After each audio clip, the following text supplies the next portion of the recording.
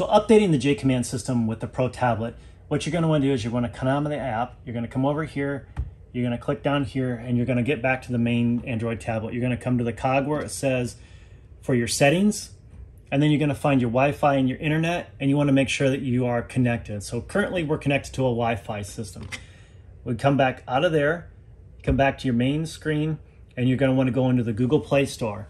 You have to have a Google account to to log into to update the JAYCOMMAND Travel Link app.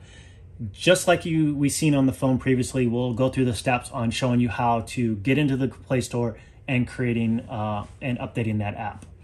Once you go through that process, then your system will automatically update. But on the, the Pro tablet, you have to go through this system to update the app. It's just not like the smaller system where you connect through the Bluetooth on your phone. It'll automatically push that update. This is the only way that that auto update. Now, if you set the, the Play Store to set up to where it has auto updates, um, like you did on your phone, and you connect to the Wi-Fi, anytime you're near a Wi-Fi spot, that will automatically update and that'll push that in and you don't have to go through this process every single time. Go to your settings, your apps, and find the JAYCOMMAND slash TravelLINK app and open it up.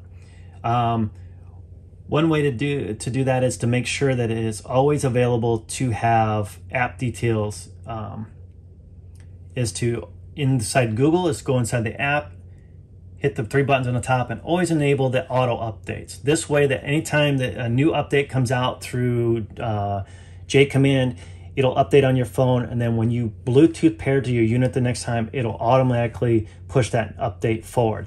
That's how you do it on a Google. On an Apple device, you're going to go to the same thing. You're going to go to your settings. You're going to go to the App Store, and then you're going to want your app updates to always come through so that way you never have to worry about having to go through and download, re-download the app to get the latest, greatest.